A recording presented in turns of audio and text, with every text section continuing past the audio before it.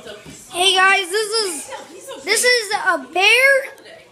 This is my little brother's bear that um had passed away because we were shooting with a Nerf gun just for a joke, and so we take this so he cannot go in there because it's bear spot and like funeral, and we put some Nerf gun bullets right there,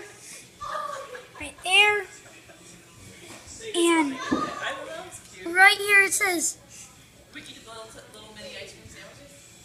it says uh, rest in peace, Mr. Bear.